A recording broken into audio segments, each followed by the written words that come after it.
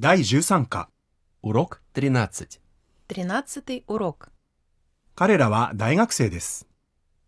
早速今回のスキットをお聞きください。テキストではスキットの下段に発音のイメージをローマ字で書いてあります。最初はこちらの発音のイメージを見ながら聞いてもらっても結構です。 Кто Андрей и Мария? Они студенты. Что это? Это матрешки. 語句を確認しましょう。最初は、アンドレイ、アンドレイ。男性の名前でアンドレイです。次は、マリア、マリア。女性の名前でマリアです。三つ目、アニー、アニー。認証代名詞で彼ら、彼女ら、それらです。四つ目は、ストデンテ、ストデンテ。辞書に載っている形は、Студент. Студент. です。男性名詞で大学生という意味です。五つ目、 Матрешки. Матрешки. 辞書に載っている形は、 Матрешка. Матрешка. です。女性名詞でマトリョーシカです。続いて会話文の和訳を確認しましょ Кто Андрей и Мария? う。アンドレイとマリアは何をしている人なのかな Они студенты. 彼らは大学生ですよ。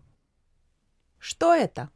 これは何ですか Это матрешки. これはマトリョーシカです。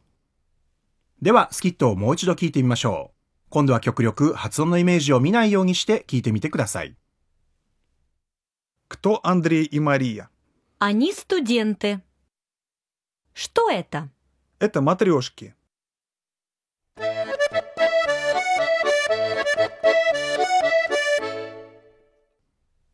キーポイント1、名詞の複数形、後変化。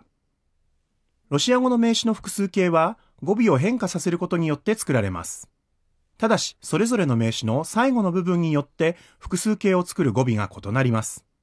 大きく分けて公母音が現れる後変化と難母音が現れる難変化がありますが、今回は後変化のみを学習します。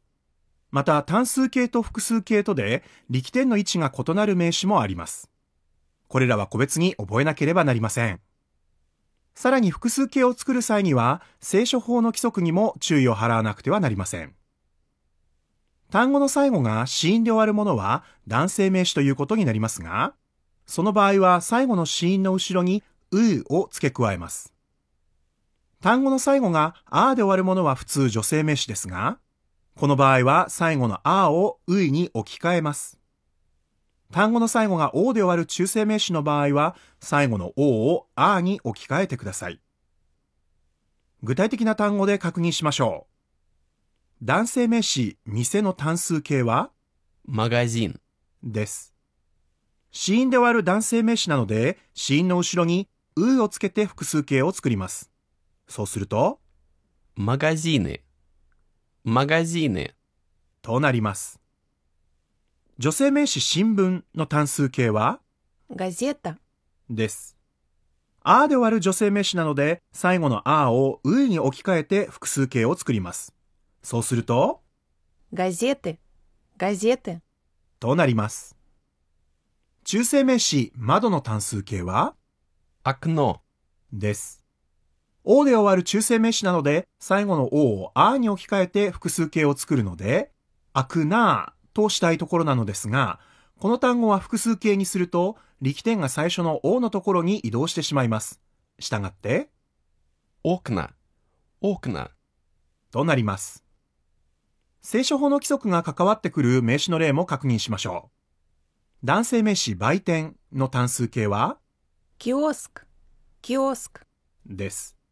子音で割る男性名詞なので、子音の後ろにうをつけて複数形を作りたいのですが、 最後のシーン、カーの後ろに母音、うは書けませんでした。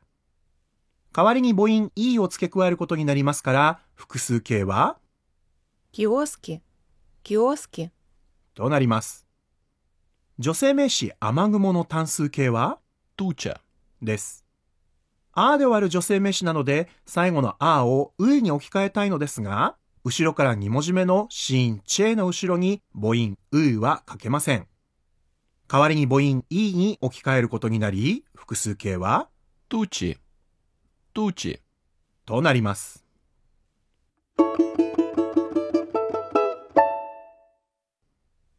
では練習です。名詞を複数形にしてみましょう。まず1番、トマトという単語を複数形にします。トマトの単数形は、パミドル、パミドルです。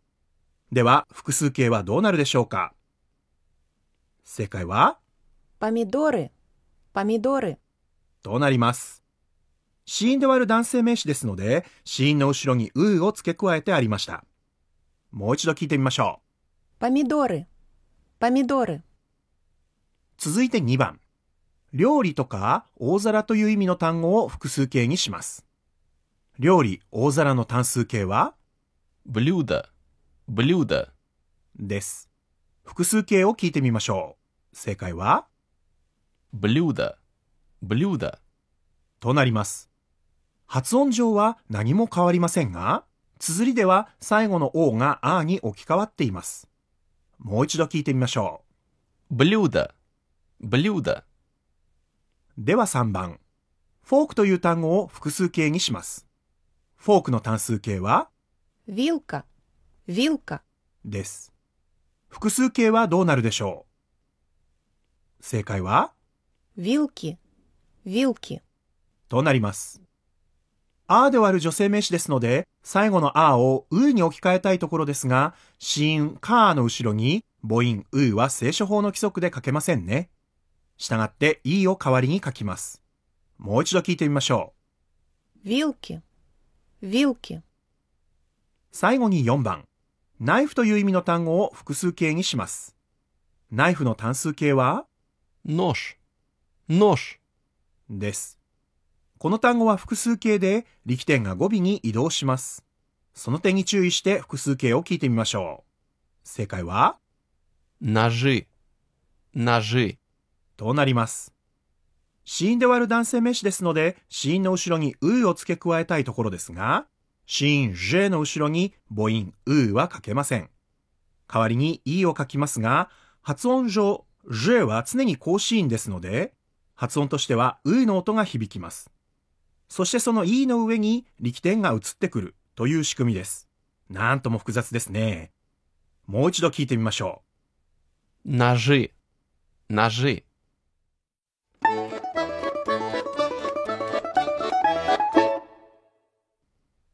キーポイント2。名詞の複数形と出没母音。男性名詞の複数形を作る際に、単語の終わりの方にある母音、お、ye、ようが消えてしまったり、難音記号、ミャフキーズナックに置き換わったりしてしまう場合があります。こうした母音を出没母音と呼びます。こうした単語の終わりの方にある母音が出没母音であるかそうでないかは残念ながら辞書などで確認するしかありません。例で確認します。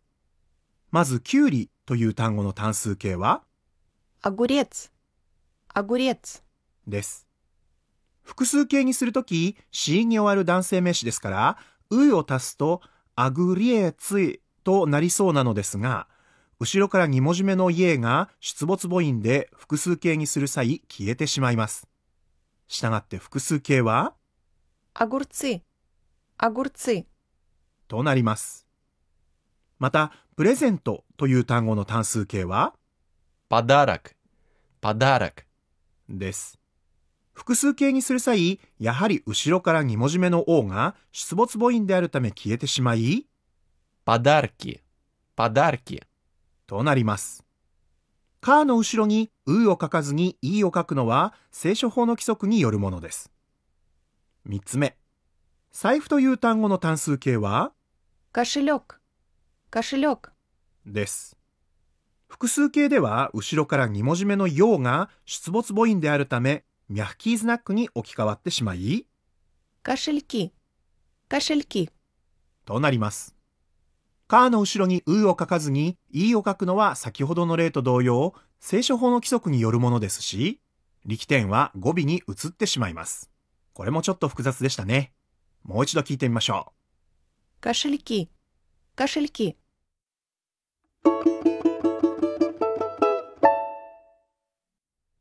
では練習です。男性名詞を複数形にしてみましょう。単語の最後の方にある王や家は出没母音となっています。まず1番、男性の日本人という名詞を複数形にします。まず単数形は、一本やつ、一本やつです。複数形はどうなるでしょうか正解は、一本つ、一本つとなります。後ろから2文字目の家は複数形では消えてしまいます。2番、指という名詞を複数形にしてみましょう。単数形は、パレツ、パレツです。後ろから2文字目の家がミャッキーズナックに置き換わるパターンです。複数形はどうなるでしょうか？正解は、パルツ、パルツとなります。3番へ行きます。角という名詞を複数形にしてみましょう。単数形は угол, угол, で、この単語は複数形で力点が移動してしまうことが分かっています。複数形はどうなるでしょうか正解は углы, углы, となります。やはり後ろから2文字目の O が複数形で消えてしまいます。 最後に4番、ピロシキという名詞を複数形にします。単数形は、ピラジョク、ピラジョクです。この単語も複数形で力点が移動してしまうことが分かっています。複数形はどうなるでしょうか？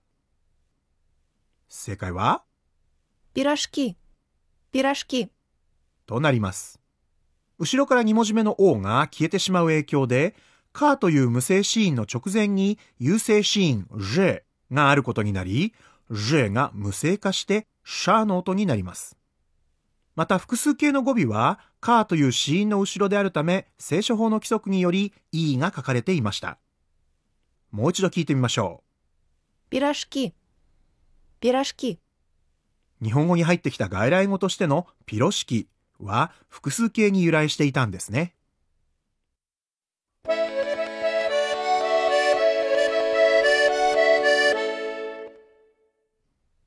キーポイント3。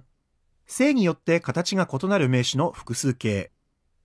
第10課で男性を表す形と女性を表す形が異なる名詞を扱いましたが、こうした名詞の複数形に関して言うと、女性のみのグループにだけ女性の複数形を用い、男性のみのグループや男女混合のグループの場合には男性の複数形を用いることになっています。例文で、ナージャと大家は何をしている人ですかと尋ねて、彼女らは大学生ですと答える文を聞いてみましょ кто Надя и Оля? Они студентки. う。ナージャもオーリャも女性の名前ですから、大学生という名詞の複数形は女性形、ストゥディエントカの複数形になっています。一方、ペーチャとイーラとナースチャは生徒ですという例文を聞いてみましょ Петя, Ира и Настя – ученики. ペーチャは男の子の名前。イーラとナスチャは女の子の名前です。男女混合の複数形ですから、生徒という名詞の男性形、ученик の複数形が述語になっています。それでは最後にスキットを聞きながら、後に続けて発音してみましょう。テキストをお持ちの方で、音に慣れた方は、音のイメージなしで書かれたスキットの方を見て挑戦してみてください。Кто Андрей и Мария? Они студенты. Что это? Это матрешки.